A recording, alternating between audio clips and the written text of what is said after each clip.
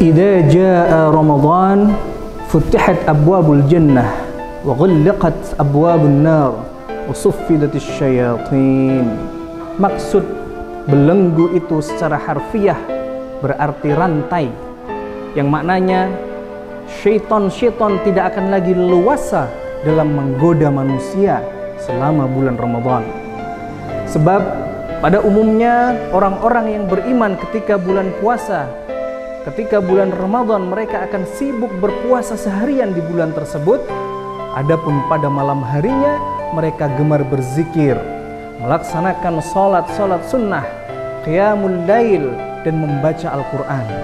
Kemudian dilanjutkan makan sahur pada pagi harinya. Dan rutinitas itu yang membatasi ruang gerak syaitan bila dibandingkan dengan hari-hari biasa di luar Ramadan